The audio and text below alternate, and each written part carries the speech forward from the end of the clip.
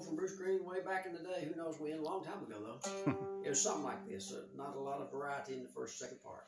Come along, Terrapin. Yeah.